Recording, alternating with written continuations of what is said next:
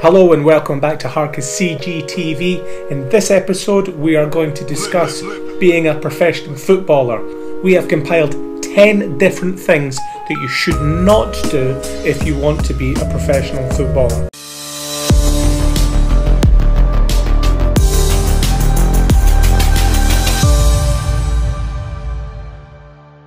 Not necessarily these these 10 rules are not set in stone. There's more things that you can do, there's more things that you shouldn't do, but we've put together this to try and help you out.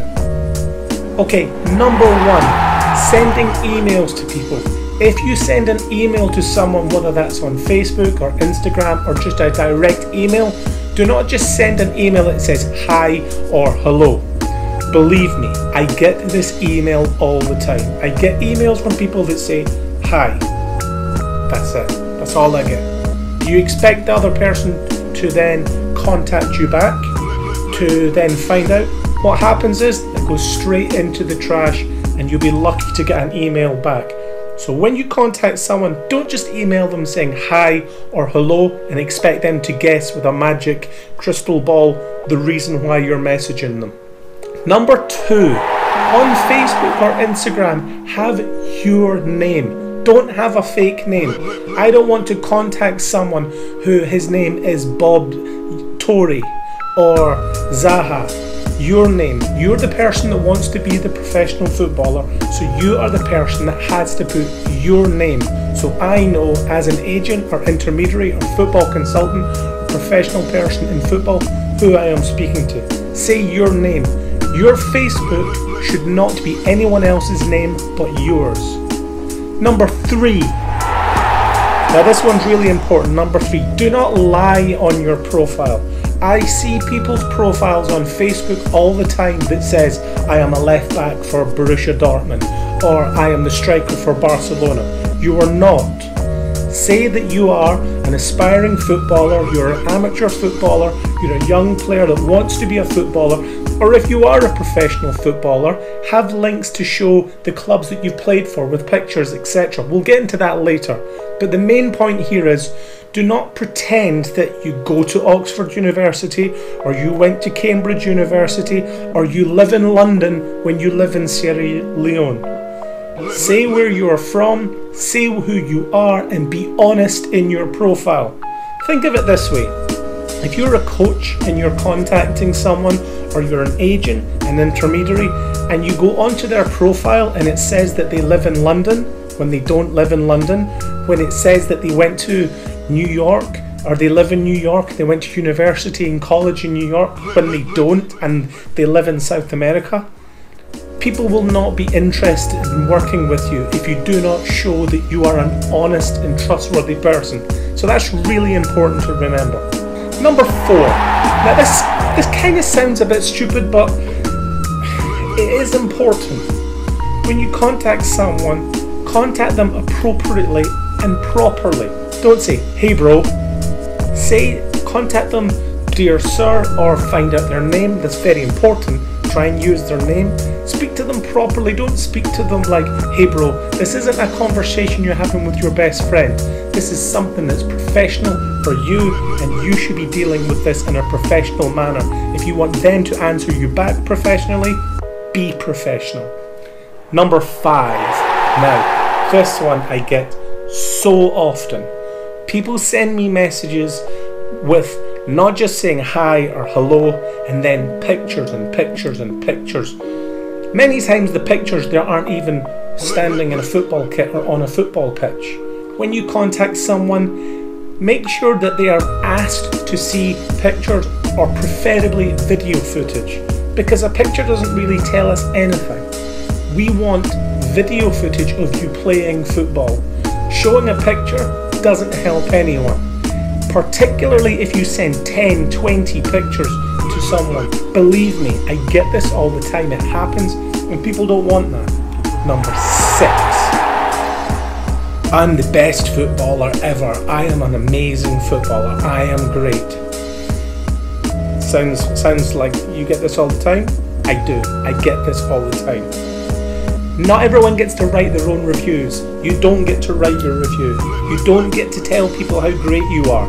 What you should do is maybe go to your coach and get a reference from your coach or from a school teacher or a PE teacher or someone that understands the game, someone who is qualified in the game. If you say, I'm the best player in my team, First of all, that tells me that you do not respect your uh, the other players in your team. Second of all, it tells me that you haven't gone to your coach to get a recommendation from your coach. So don't come to intermediaries and agents saying, I'm the best player, when we don't know who you're comparing yourself to. So very quickly, don't send messages to people saying, I'm the best player. That doesn't work. Number seven. Okay, this one also happens a lot.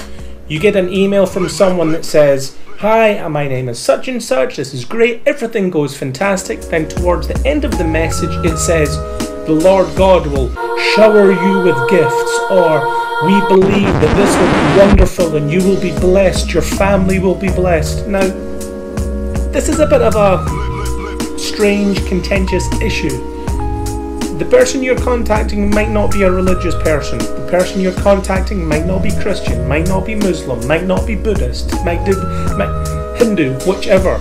Me personally, I'm an atheist, so I don't believe in any God.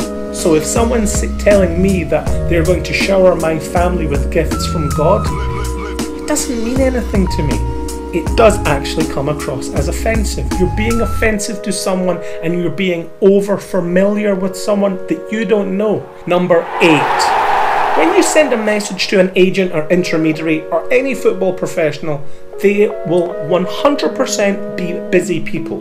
Busy people, you want them to be busy. If they're busy, they're successful. But that also means that when you send them an email, they can't send you an email immediately, straight back. So, what I would say is give it for a week and a half to two weeks, then contact them back, but with a very brief message saying, I sent you an email a week and a half ago. I'm just checking to find out that you got the email. I would appreciate uh, a response. Let me know what you think. What you think. That's it. Do not send emails with a question mark. I get that. If I have not messaged someone back in a day, I open my inbox and I get an email that just has a question mark. Think about it. If you got messages like that, how would you feel? No different to anyone else. Again, put yourself in the best possible light and be as polite as you can. These are huge issues and they make massive differences, even though it may seem such a small thing. Number nine. Now, I understand that the world is a big place and you might speak to a lot of people that don't understand the country that you're from. But you shouldn't always assume that the person you're speaking to doesn't understand the country that you're from. For example, if someone says, I want you to go on trial and I, I want to come and see you, then you shouldn't go to the person, well, I'm not able to do this because my country is poor, and then you start telling them the whole story of your country. The reality is, you may have worked with someone in the Ivory Coast who has been to several trials before, or someone who's been to Senegal, or someone that's been to Ghana, or someone that's been to Brazil, where they know where there's trials, and you are now just sounding that you're making excuses. If you have a genuine excuse, then people will genuinely listen.